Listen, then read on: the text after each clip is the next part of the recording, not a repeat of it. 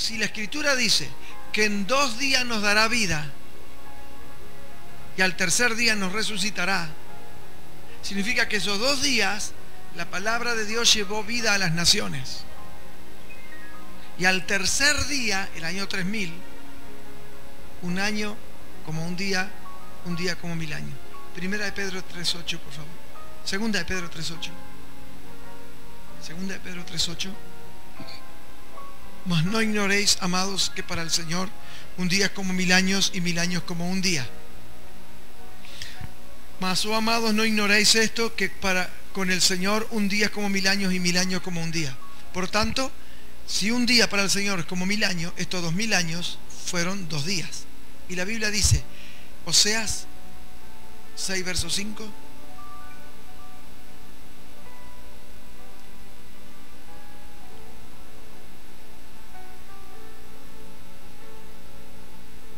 Venid, 6, verso 5. 4. El 2, a ver el 2. Nos dará vida después de dos días y en el tercer día nos resucitará. Opa. Nos dará vida después de dos días y en el tercer día nos resucitará y viviremos delante de Él. Es una tremenda esperanza para todas las naciones. ¿Por qué? Ahora, ¿cuánto tiempo esperó el Señor? Ya pasaron los dos días. Ya estamos en el tercer día, porque dice, en el tercer día nos resucitará.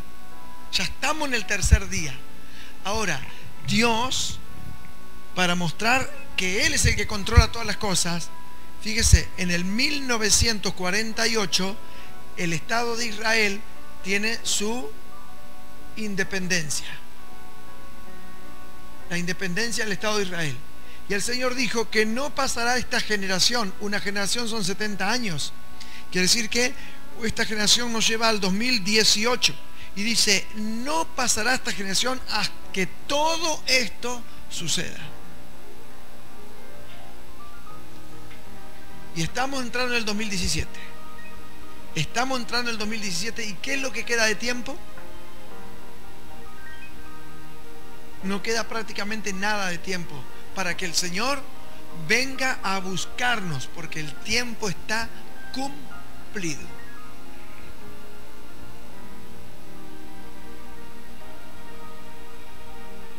Así que imagínese usted, si aquí como le mostré en el almanaque, mire, a ver una vez más.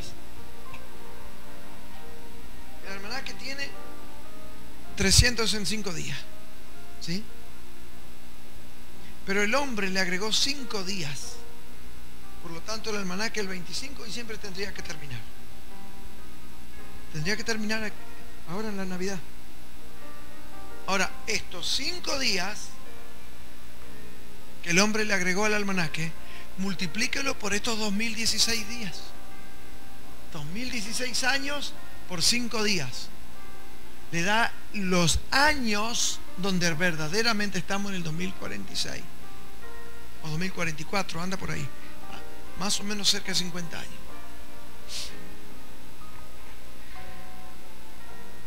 Hágame, quien tenga una calculadora, hágame verdaderamente.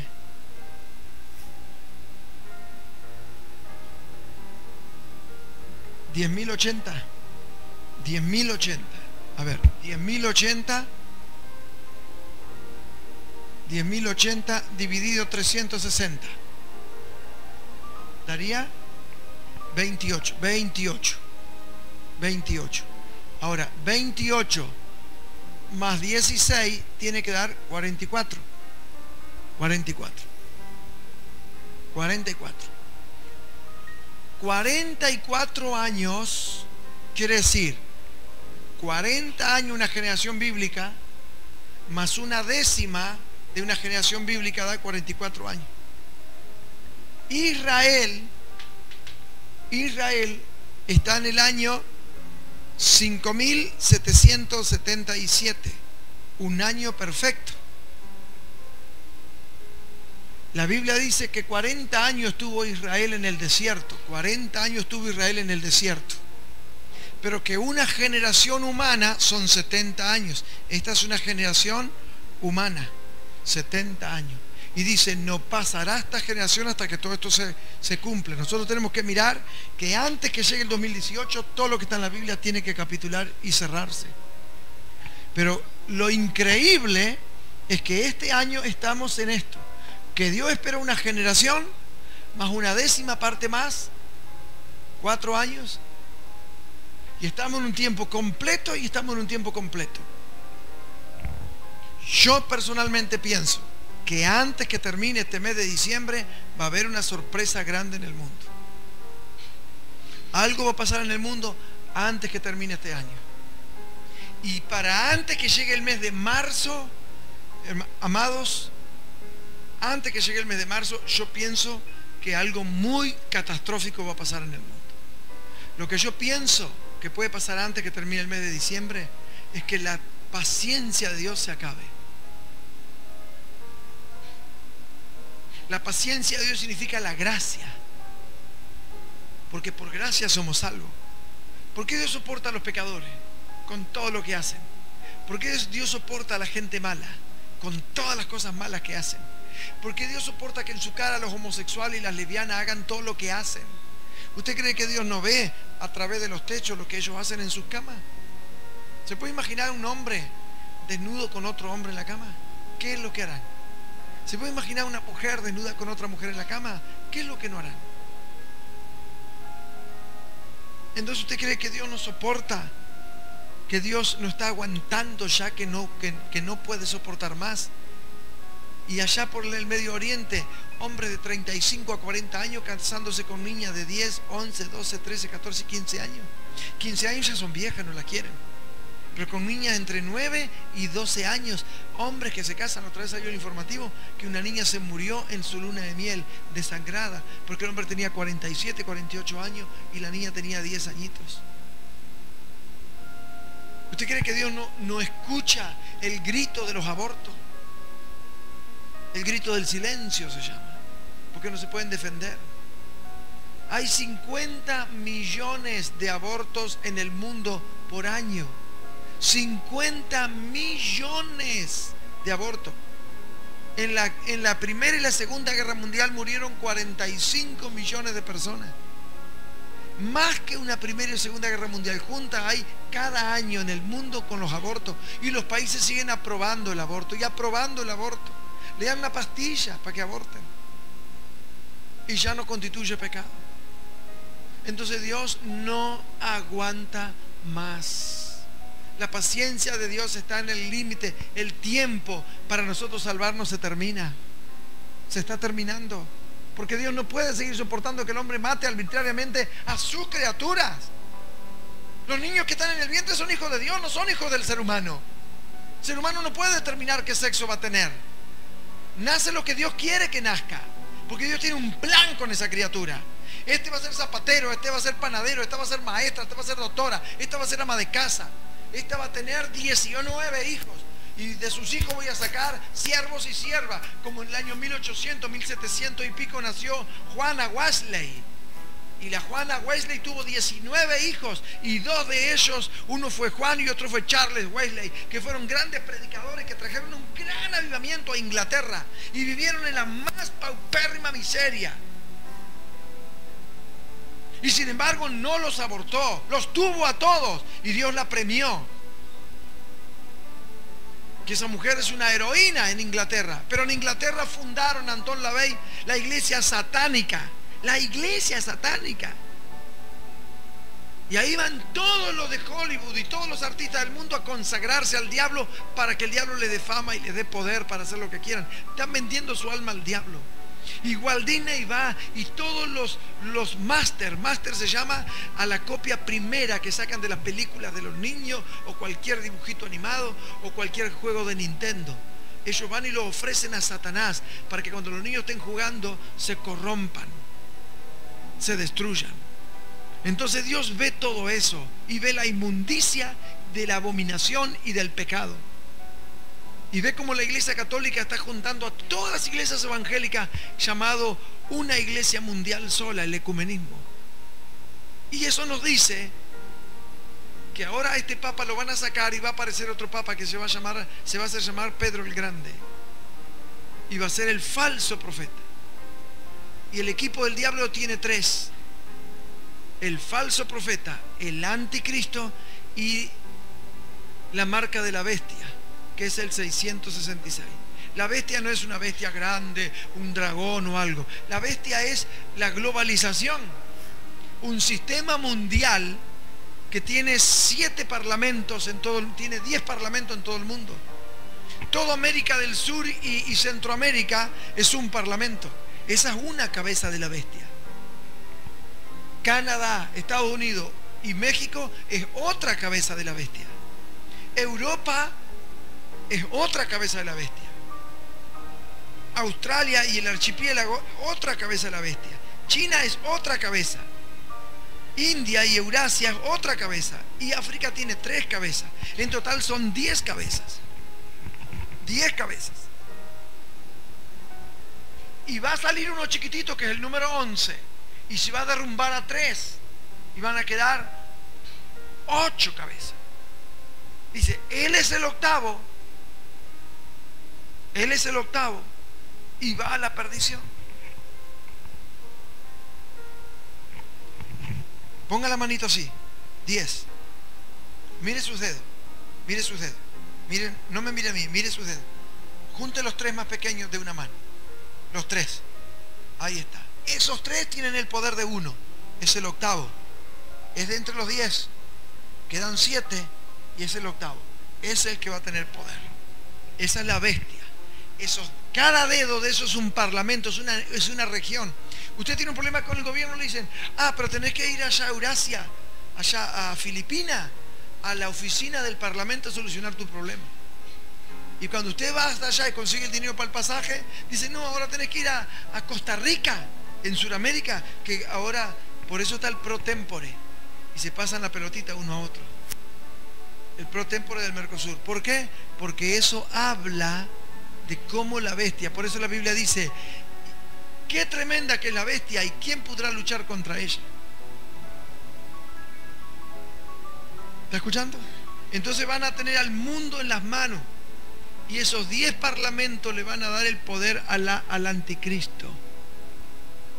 Esas diez regiones del mundo le van a dar el poder al anticristo. Van a elegir al anticristo. Van a votar quién va a ser el gobernante mundial. Entonces va a haber una religión mundial, un presidente mundial y una moneda mundial. Ahora, esa moneda mundial no es dinero, sino que es un microchip debajo de la piel. ¿Por qué van acostumbrando a la gente? La tarjeta, te cargan la tarjeta, ¿verdad? ¿Por qué hicieron eso? ¿Usted cree que eso no fue pensado? Fue pensado.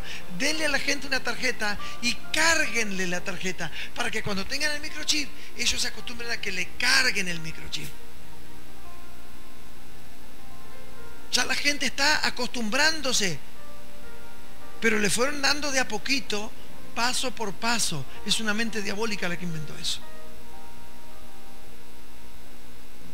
A usted le dieron la tarjeta del BPS para cobrar la asignación. Y ahora están diciendo, todo el mundo tiene que cobrar su sueldo por medio de, por medio de tarjeta. Para controlar quién paga los impuestos y quién le paga a sus empleados. Entonces, eh, es un sistema de control. Un control absoluto. Si no tenés tarjeta para cobrar tu sueldo. Toda la policía le da una tarjeta y un chip y un, y un número un PIN para ir, a, ir a, cobrar su sueldo. Los jubilados, los pensionistas, les va a llegar la tarjeta. Cuando quiere acordar, antes de agosto de este 2017, todo el mundo tiene su tarjeta para cobrar su dinero por automático. Eso son dos cosas. Uno es el control que van a ejercer. Y cuando venga Cristo a sacar a la iglesia, al rapto de la iglesia, como no tenés tarjeta, ahora hay que ponerse el microchip. Ese microchip es lo que la Biblia le llama el 666. hacía que todos, ricos y pobres, libres y esclavos, se pusieran la marca o el nombre o el número de su marca y que ninguno pudiera comprar o vender sino el que tuviera esto. ¿Por qué? Porque todo el mundo en la globalización, las, las transacciones bancarias están todas conectadas por computador y por satélite. Y todos tienen que tener el microchip. Si no tenés microchip, no andas. No funcionas. Por eso están acostumbrando. ¿Por qué ahora no se pone el microchip? Porque está la iglesia del Señor. Porque el microchip va a ser un invento del diablo. Y les digo más. Les digo algo que los va a sorprender. El mundo va a aplaudir cuando pongan el microchip. El mundo lo va a aplaudir. Porque de verdad esto es algo sensacional y fantástico. Pero es diabólico. Porque te van a controlar. Y a muchísima gente le van a cargar la tarjeta gratis.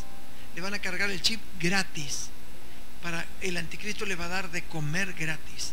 Pero el que se ponga el microchip se va de cabeza al infierno para siempre. Cuando venga Cristo a buscar a los creyentes, la tercera parte de la población del mundo va a desaparecer. 2.500, casi 3.000 millones de personas van a desaparecer y todos los niños que hay en el mundo van a ser salidos de la tierra. Ahí te vas a dar cuenta que fue realmente Dios porque los niños que están en el vientre de la madre gestándose van a desaparecer. Los niños que la madre está dando pecho van a desaparecer. ¿A dónde van? Cristo Jesús se los lleva. se llama el rapto, el arrebatamiento. Usted no se da cuenta cuántas veces pestanea, no se da cuenta. No se da cuenta. La Biblia dice, será un abrir y cerrar de ojos lo que le va a tomar a Jesús sacar a todos los niños inocentes del mundo, sean creyentes o no sean creyentes sus padres. Si son inocentes, los niños no tienen la culpa de los pecados de sus padres.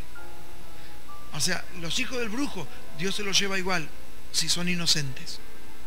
¿Está escuchando?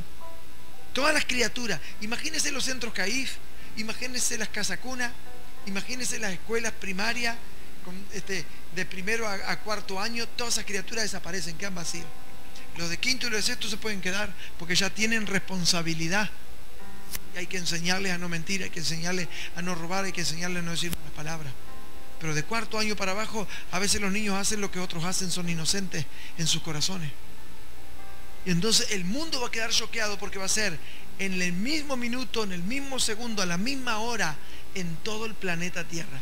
En uno será medianoche y en otro será mediodía. En uno será el atardecer y en otro será el amanecer. En uno será eh, el anochecer y en otro será la madrugada. Uno a media tarde, otro a media mañana. Uno será a la medianoche y otro será al mediodía depende del uso horario como lo agarre, pero cuando suene la final trompeta, a la misma hora van a desaparecer los creyentes del mundo. Ahora, ¿Dios lo va a hacer de golpe así? No, Dios lo va a avisar. ¿Cómo lo va a avisar? Lo va a avisar con un periodo de siete trompetas. Ahora, cuando empiecen a sonar las trompetas, la paciencia de Dios se va a terminar. Porque ahora se está predicando por gracia, gratuitamente y la gente juega con el Evangelio, y hay mucha gente que se hace pasar por evangélico, y hay muchos pastores y pastoras que se están haciendo pasar por siervos de Dios, y lo único que le interesa es el dinero de la gente. Entonces la paciencia de Dios está llegando a un límite y llega a cumplirse la escritura que dice, ya no se puede predicar más. La noche viene cuando ya no se puede trabajar. ¿Quiere decir que estamos de noche? Sí, ya estamos en el atardecer. Ya prácticamente el atardecer está muy avanzado, ya las tinieblas vienen y los obreros que salieron a sembrar la palabra de Dios a todo el mundo están regresando a casa. Están regresando a casa. Espero que las comadronas hayan hecho una buena sopa, un buen puchero, vienen a bañarse, a lavarse y a descansar. Cada trompeta de las siete trompetas son seis meses. Multiplíqueme 7 por 6. 7 por 6. 42. 42 meses. Por lo tanto, hay 42 meses de trompeta.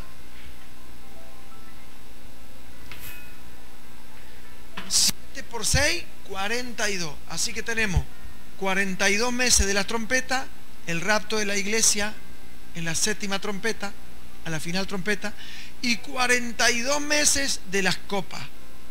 Cada copa es la ira de Dios. La ira de Dios. Y aquí es el regreso de Cristo, la segunda venida. La iglesia se va con Cristo a las bodas del Cordero. A las bodas. Nos vamos a las bodas. del Cordero al cielo. Cuando terminan las bodas, acá están tirando, mientras estamos en la boda, acá el Señor está derramando las siete copas de la ira de Dios. Cuando termina aquí, aquí el diablo reunió al mundo para la tercera guerra mundial, que la Biblia le llama el Armagedón. Y ahí viene Cristo. Ahí viene Cristo, la segunda venida de Cristo. La iglesia no verá la cara al anticristo, porque el anticristo no puede manifestarse, no puede entrar en el mundo mientras está la iglesia aquí en la tierra. ¿Está escuchando? Ahora, cuando este tiempo empiece, cuando empiece, nosotros estamos aquí, aquí estamos nosotros a punto de empezar. Cuando empiece este tiempo, Dios va a cortar este tiempo. De hecho, ya se ve que los días están más cortos. La NASA midió el movimiento de la Tierra por el planeta Nibiru que se está acercando y están lenteciendo la Tierra. Y el Señor otra me habló, me dice, a cada mes sácale una semana. A cada mes sácale una semana. El mes va a tener tres semanas. Eso me lo dijo el Señor, porque me está enseñando el Espíritu Santo cómo que va a ser. Porque yo le pedí que me enseñe cómo se va a desenvolver esto. Y él me dijo que cada trompeta va a tener tres semanas, menos que un mes. Y que nos preparemos para la próxima Pascua. La próxima Pascua puede ser el rapto de la iglesia.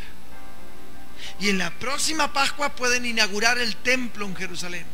Y en la próxima Pascua puede aparecer el anticristo como el Mesías, porque el Papa va a presentarlo al Mesías. O sea que de aquí hasta junio, mire, van a haber días sensacionales, van a pasar cosas increíbles. Yo le recomiendo a usted, congréguense, vengan a escuchar la palabra, vengan a orar, vengan a aprender, vengan a pedirle al Espíritu Santo que llene sus corazones, porque van a pasar cosas en el mundo. Y el que no tiene a Jesús en el corazón no va a poder soportar lo que viene a la tierra. Póngase de pie, Dios le bendiga. El tiempo vuela, por Dios. Parece que hablé cinco minutos y ya hace dos horas. No puede ser. Aleluya, Jesús. Señor, te damos gracias, Dios Padre Todopoderoso, Creador de los cielos y la tierra, único Dios verdadero que creaste todas las cosas y que nos diste ese entendimiento nos diste esta alma para entender, para razonar y para comprender. Padre de misericordias, te pedimos que la palabra que hemos enseñado y anunciado no caiga en saco roto, sino que el poder de tu Espíritu Santo venga sobre ellos y que tú los bendigas. Que la palabra que hemos hablado sobre estas maravillas de nuestro carácter, carácter cristiano, nos sirva, nos afirme para entender tu palabra, porque tú dijiste, derramaré de mi espíritu y os haré conocer mis palabras. Somos como vírgenes prudentes, Señor. Teníamos la lámpara, pero también aceite en la lámpara. Y debemos alumbrar. Por eso te ruego en esta hora que bendigas a mi hermano y a mi hermana. El tiempo está corto, Señor. Tú estás a las puertas llamando y diciendo, vengo, vengo, vengo, vengo. Y muchos no creen. Muchos se quedan en sus casas diciendo, no, todavía falta mucho tiempo. Otros dicen, no, todo este año no va a pasar nada, vamos a llegarlo más bien a fin de año. Y no saben que el Señor está anunciando desde hace unos cuantos años que el tiempo se termina. Te rogamos que el temor de Dios esté en nuestro corazón y que la pureza esté en nuestro corazón y nos laves en la sangre de Cristo de nuestros pecados.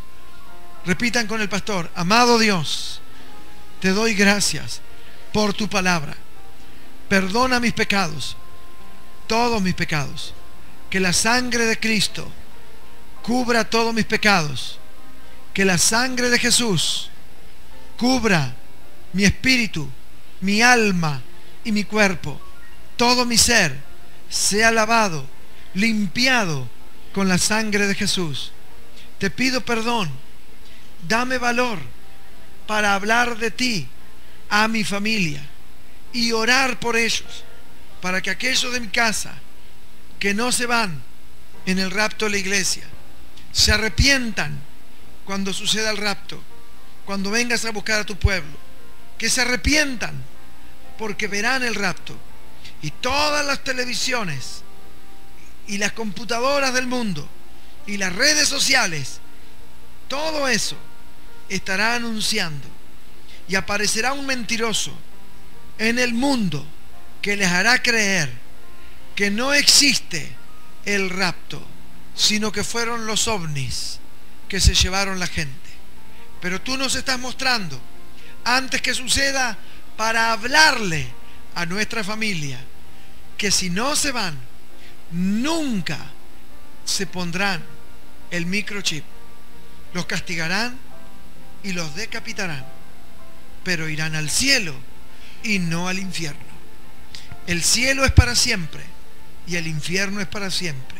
De ahí no se sale. Yo te ruego, Señor, que en el nombre de Jesús me des el valor de hablar a mi familia ahora que hay tiempo. En el nombre de Jesús, pon tus palabras en mi corazón y ayúdame a tener una motivación para leer la Biblia en el nombre de Jesús. Que pueda leer retenidamente San Mateo capítulo 24 en mi hogar. Que lo lea todo al revés y al derecho y pueda darme cuenta que estamos en el tiempo del fin. Te pido, Padre, en el nombre de Jesús. Amén y amén. Dale una ofrenda aplauso al Señor. Dios te bendiga.